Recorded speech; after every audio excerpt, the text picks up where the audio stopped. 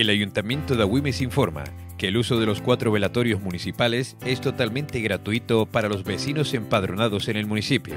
Las llaves del velatorio de Agüimes Casco se deberán solicitar en la Policía Local de Agüimes.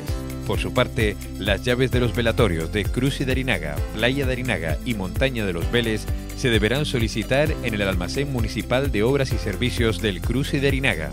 Es un servicio gratuito que se presta las 24 horas del día durante todo el año. Es un mensaje del Ayuntamiento de Agüimes.